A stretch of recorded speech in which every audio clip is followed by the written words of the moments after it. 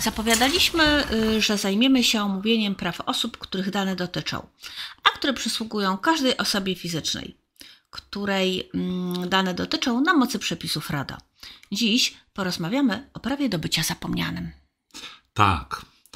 Jest to przełomowe prawo, które obowiązuje już niemal od 6 lat, czyli od rozpoczęcia obowiązywania przepisów rozporządzenia o ochronie danych osobowych, czyli właśnie naszego ukochanego RODO.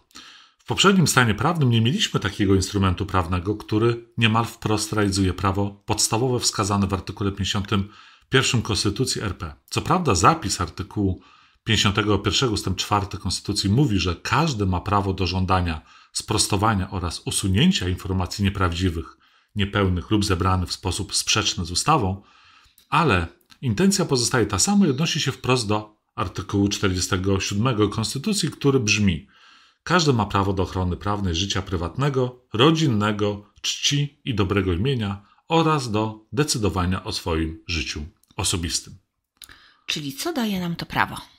Zgodnie z literalnym brzmieniem artykułu 17 RODO, osoba, której dane dotyczą, ma prawo żądania od administratora niezwłocznego usunięcia dotyczących jej danych osobowych, a administrator ma obowiązek bez zbędnej zwłoki usunąć dane osobowe, jeżeli zachodzi jedna z okoliczności wskazanych w przepisie. A w jakich przypadkach możemy skorzystać z prawa do bycia zapomnianym? Przepis wskazuje kilka takich przesłanek, no i warto chyba wskazać e, czy wymienić każdą z nich. Po pierwsze, jeżeli dane osobowe nie są już niezbędne do celów, w których zostały zebrane lub w inny sposób przetwarzane. Po drugie, osoba, której dane dotyczą, cofnęła zgodę, na której opiera się przetwarzanie zgodnie z artykułem 6 ust. 1 litera a lub artykułem 9 ust. 2 litera a RODO i nie ma innej podstawy prawnej przetwarzania.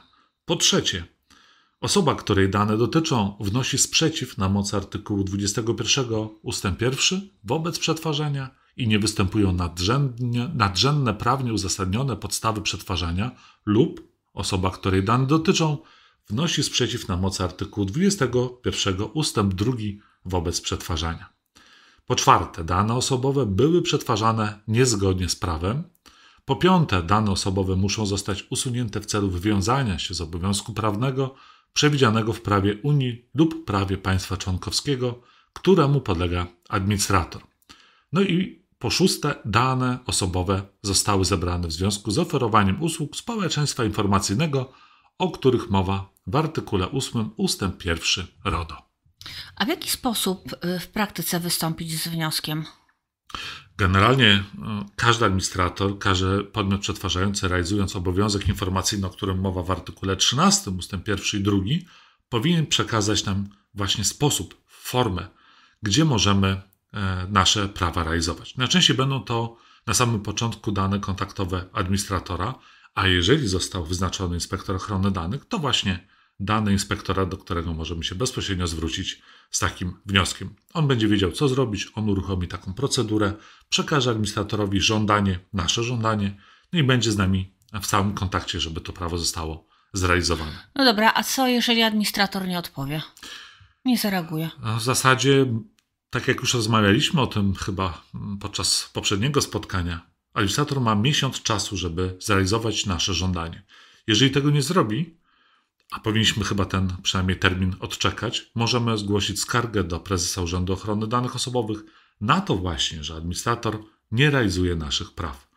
E, niezrealizowanie prawa jest tak samo zagrożone administracyjną karą pieniężną, jak złamanie zasad, o których mowa w artykule 5, czy w ogóle naruszenie ochrony danych osobowych. I to jest budujące.